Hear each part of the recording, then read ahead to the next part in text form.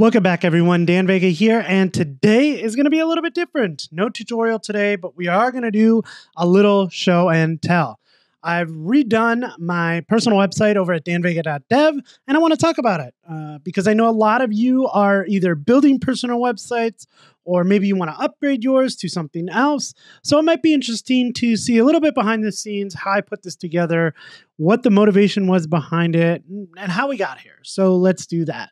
So danvega.dev, I've had a personal website forever. It's had a couple different domain names.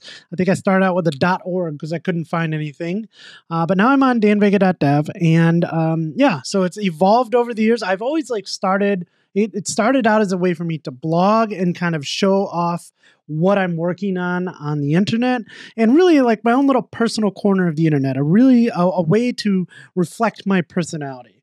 So, um, yeah, we started off blogging 20 years ago, and that was just a, a way for me to kind of give back to the community. I found something wrong, uh, I figured out a way to solve it, and then uh, I shared it with with all of you. So, yeah, we're still blogging, and there's a whole bunch of other features here.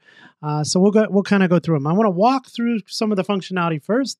We'll talk about how it was built, and then we'll take a look at some code. So here we are, um, danvega.dev. Uh, one of the things that I really like right off the bat is the new look and feel. And the new look and feel is thanks to Tailwind UI. There is a uh, component or a template called Spotlight, and that is the one that I am using. Uh, this was uh, a pretty easy easy decision for me. I knew I wanted to use Tailwind, but I also I think I get stuck when I have to design something. I, I like doing it; it's fun for me, but if I if I have to like figure out how everything is going to look, and in this case, how everything is going to work, like on a mobile device, I kind of get stuck sometimes. So, so giving me a really nice template that I'm happy with is an easy way to get me motivated to move forward. And that's really what happened here. This is something I've wanted to do for a while now, but with the look and feel, I just didn't know like, do I have time to do that? And finding a template was uh, really the best place to start. Now, the thing is with this template, this template, if you go ahead and download this, is written for Next.js and React. And I am not using Next and React, so I had to do a little conversion, and we'll talk about that in a bit. But first off, I love the look and feel. Uh, I love being able to just kind of switch between light and dark mode. Uh, I have this search here, which you can also trigger from Command K to go ahead and search through blog posts. So if I type uh, Spring REST or what is the new, let's see, REST client, then I can just go ahead and hit enter, and it will take me into that blog post. So I just have a, a little bit of a, a image here showing me off, uh, who I am, a little bit about me, uh, some social media icons. These were kind of the stock images that came with the website. I haven't gotten around to changing them yet. I know that I should, um, but it's not something I'm worried about just yet. I'll I'll get to it soon. Um, I'm showing the latest three blog posts that I have in here, a way to sign up for my newsletter. And then on the template, there was this place to kind of download a CV.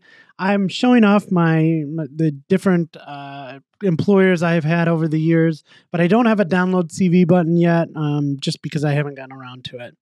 So that's the home page. Um, again, what I what I really like about it is the ability to let's so if we go into a mobile view here now we get this uh, drop down menu which is nice. We can switch between pages. We still have light and dark mode and search. But now you see like everything's kind of collapsed and we have this nice mobile view. And um, this is something i could have done on my own but again i just like it takes a lot of the me being stuck uh, out of the equation and just allows me to like write some code. So I really appreciate that. So that's the homepage. Um, Let's talk about how this was built. Uh, we're using Nuxt. I am a big fan of Vue. I'm a big fan of Nuxt. Uh, as soon as Nuxt 3 came out, this is a long time ago now. I don't. I'd have to look it up and find out when Nuxt 3 was released. But as soon as I started hearing um, that that this was coming out, I knew I wanted to move to Nuxt and it's just one of been one of those things that I've always kind of had on the back burner and never gotten to. You can see here we're on Nuxt 3.8 as I'm recording this video. Nuxt is amazing. Everything that I think I'm going to need to build, Nuxt has a solution for. We'll talk through a couple of those today, but when it comes to like modules and plugins, the ecosystem is great. There's an answer for everything that I have tried to do.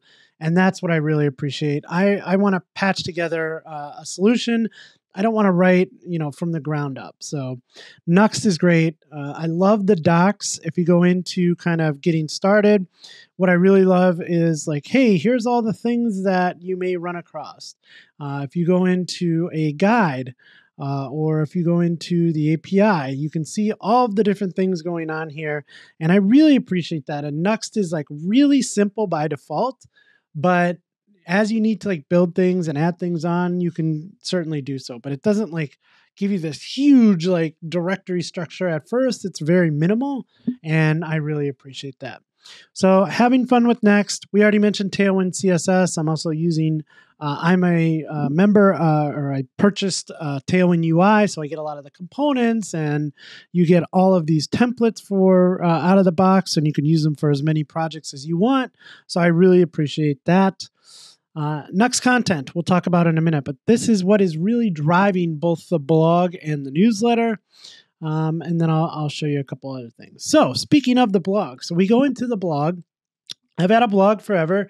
Um, I had to do some migration to get it over here, but uh, we basically just have articles, and all of these articles are written in Markdown. So if we hop over to uh, my editor, my IDE here, we can take a look and uh, this is driven by Nuxt content. So if we go into a content folder, we have a blog folder and let's just like uh, look at the latest one, which was in September 17th. And this was on the Spring Boot starter. So this is just a markdown file. I write all my blog posts in markdown. We have some metadata about it. Uh, I have a video. So if there's a video, I will display a video on the page. If not, I will display the cover image. Uh, there's some keywords about it. And then here's the article. So this is really nice. I can just write in markdown. And that's how I've been writing my blog posts forever. So I was able to convert over to Nuxt and Nuxt content fairly easy. There was one little issue I had, but that was because of the way I was doing things, not because of, of Nuxt. So if we look at that, if we go ahead and click on this, now we're in here. We have this blog, uh, we have this video, and then we have the blog post. Uh, is there actually any? Yeah, not a whole lot. Oh, there's some. So we also have a way to display uh, code in this nice format. Uh, we're using something under the hood to to make that happen as well. That was built right into kind of Nuxt content, which was really great. And yeah, I think it just came out like really clean. All right, so that is the blog. Now, how do we search the blog? So we have this nice little um, search icon up here. If we click it, we get this fancy little uh, search. Again, we have a Command K. The way that we're doing this is in Tailwind. I'm using a Tailwind UI component called a command palette. Looks something like this. And uh, let's just take a look at that. So the way that we display this is through a page one of the things I really love about Nuxt is you get this file based routing. So you don't have to set up like routing. You just kind of create folder structures and pages within there, and routes get created for you.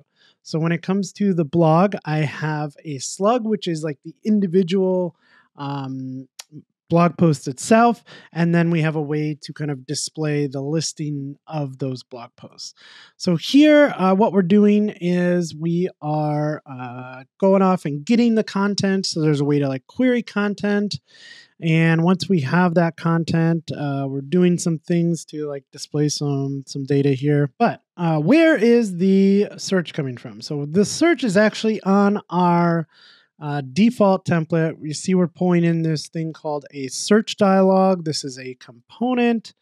So if I go into components and search dialog, this is the code to make this happen. So again, everything that I've done is available in uh, Git on GitHub. I'll leave the link to the repository for all of this down below. Um, so we do some things. Um, we basically have this command palette and this is, uh, you know, I had to pull the command palette out of Tailwind UI and then do some things to to really kind of customize this to what I wanted it to do. But you'll see there's not a lot of code here. Pretty simple. What is it searching? Uh, it's searching a list of, I think, what, a 180 blog posts right now. So I just get a list of posts. I cache that because it's not going to um, change often. And then I go ahead and say, hey, um, let's filter on those titles uh, based on whatever someone is typing in there. So if I start typing, oh, oops, that is that one. So if I come over here and I start typing JDBC, we can say, look at the new JDBC client, and I can go ahead and enter down, and it takes us right to the blog post. So this is really cool. I think in the future, I want to be able to add other things to this, like, hey, I want to search through newsletters or courses or, you know, whatever other content. But right now, I just wanted to be able to search the blog post. All right, so the newsletter now, uh, we have a way to kind of display the last few newsletters that I've written. If you want to read them real time, you can go ahead and subscribe to the newsletter, put in your email and hit subscribe.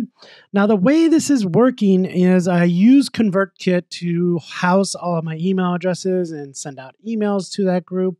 And they have some forms on there like pre-built. So you can just say, hey, uh, here's a here's a form template. Go ahead and use that on the website. But with that comes a lot of JavaScript and not not real clean forms. I just wanted like very simple forms in Tailwind format, uh, mm-hmm. how they look really clean and nice, and then I wanted to subscribe to uh, whatever form I'm on. And the way that I do that is by using the ConvertKit API. So in Nuxt, you can go ahead and create some different APIs using the server side, using the server folder. So under server API, I have a ConvertKit folder and I have something in here called subscribe.posts.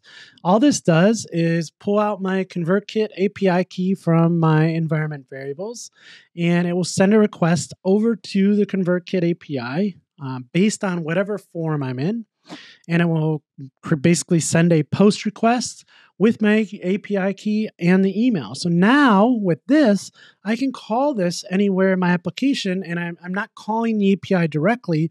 So this hides like my API key. You don't want to do this right from the client. You want to do this on the server so those API keys don't get exposed. So what's an example of this? If you go to the pages, newsletter, and on the home page, you can see that we're just have we have a form here with an action to that server route that we just created because again on the server side Nuxt has created an api route for me. So now i can call api slash convertkit slash subscribe. I'm passing in the form id i'm passing in the email address and boom we call off to our third party service to uh, do that. And i do that in a couple different places. Uh, there's one on the home page to sign up and then uh, if you go ahead and look at the blog post, there is um, a sign up on the footer. Another thing that I didn't really mention when it comes to Nuxt content is um, one of the things I'm really excited about is what they're calling markdown components. So if we go into here and we see Vue components, so every Vue component created inside of the components content directory will be available in markdowns. And this is exciting. Now, not only can I use markdown files, but if I have things that I want to reuse, I can put them into components and use them in my markdown files. So one of the examples that I have of this already is if you look in content and let's see, I think I have, do I have a video in my latest one? Maybe not. Let's go into, um, let's see, I think so, yeah. Uh, do we have a video in here? Yes. So you can see I'm using a markdown component called YouTube. So if we go into the components and under, under content, we have a YouTube component. And this is really just using a uh, Lite YouTube uh, embedded plugin and this is really nice because it's not just embedding this in an iframe, it's actually displaying an image. And when you click on it, then it loads it. Uh, better performance. Uh, so I'm using this thing called Lite YouTube. And now I just have this in a component and I can use this right in my Markdown. So um, this is going to be really cool to display all types of things in my blog posts and my newsletters. Um, and yeah, if I haven't mentioned that, uh, under uh, content, I have newsletter as well. So all of my newsletters that I write, are basically driven by Nuxt content as well. So if we go over to newsletter and we click on one of these, this content is in Markdown, but yes, driven by Nuxt content again. So, really, really cool to see. I have a speaking section where this is kind of dynamically driven now. So, um, just kind of you know, I don't know that anybody cares where I am next. Uh, I'm not Tony Robbins, but uh, this is more for me. Like, hey, here are my upcoming talks. Here are the talks that uh, that I've given. So, really nice ability to kind of look at the archives of talks. I still got to clean this up. This isn't this isn't great, but this is now dynamic, and this is feeding off uh, some JSON data. So if I go into assets data events.json, you can see we have some JSON here, and that is what is building this out. So anything that is upcoming, it's going to show here um, on the main page, uh, some podcasts that I've done, and then anything that is kind of behind us uh, will show on the archives page. So that's speaking courses. I have some some courses out there. Haven't really updated this. Just kind of migrated this from the old site, and then a users page. Uh, a lot of the times people ask me like, "What am I using for creating content? For you know, being a developer? Uh, what are some productivity tools? What is this website built on?" And um, this is just like a collection of those with links to any of those. So if you wanted to grab the same camera that I'm using, you can go ahead and open this up and that will head over to Amazon. And yes, there are affiliate links on here, uh, but you don't get charged anymore. It really just kind of helps me out. Oh, yeah. And I don't think I mentioned this. If you haven't signed up for my news newsletter yet, please do so that really helps me out as well. Being able to let you know what I'm up to every week uh, and when I get some new things out there. So, again, love this dark mode. This is just, for me, I love the clean, kind of minimal look to it. Really happy with this, how this turned out. I can't say enough about Nuxt. The community in around Vue.js and Nuxt is just amazing. And again, Nuxt kind of solved every problem that I ran into. Like, I need a sitemap. Oh, there's a plugin for that. Uh, I need to be able to, um, uh, when it comes to like observability, I had to tie into something called Sentry. Oh, there's a way to do that. So there just really seemed to be an answer for everything that I ran into, and I really appreciate that. So that's it. Uh, I just wanted to show this off. Uh, again, I will leave the link for this in the description below to the GitHub repository. You can grab all the code for this. Um, I don't know what the what the legal rights are around reusing a Tailwind template UI that I converted over to um, to Nuxt, but I think it should be okay. So if you want to kind of grab this and, and build your own, you can. Or if you want to change it up, that's great too. Uh, this is really just, uh, I hope this is a way for you to kind of learn how to build your own personal site, or maybe you want to migrate your site over to uh, to Nuxt. Oh, and I guess I will mention that real quick also in the repo. One of the things that I had to do was migrate from an existing site over to here. One of the things that I found is that all the images for my blog posts were right next to my markdown files in my previous site. Now they needed to go into public images, blog, and then, you know, some kind of format. So I had to write some migration scripts to do that. And I didn't really want to write this. So I fired up ChatGPT, got real descriptive on what I was trying to do. And I think within an hour, I had this migration script ready to go that really kind of fixed everything that I needed to do when moving from the old site over to the new site. So I thought that was cool. This is one of the tasks that I absolutely love using ChatGPT for. Uh, I also used uh, ChatGPT for just, hey, I need to um, write a description of uh, this for my users page. That worked out well too. Any of these tasks like this, I feel like it's it's like it does a great job and it's continually getting better. Um, so I'm a big fan of ChatGPT, Copilot. They really help me out in day to day tasks like this. So yeah, that's a new website, danvega.dev. I would appreciate your feedback. I would appreciate you signing up for the newsletter if you want uh, mainly because I would like to make sure that that's working correctly. Um, but yeah, let me know in the, the comments below and let me know if you think that we are missing anything here. Maybe we can add some new features to the website. That'd be great. One more thing I want to mention really quickly we went over a lot of features that were put into this website over you know, a few weeks. So this took a little while to put together, and we talked about this in five minutes.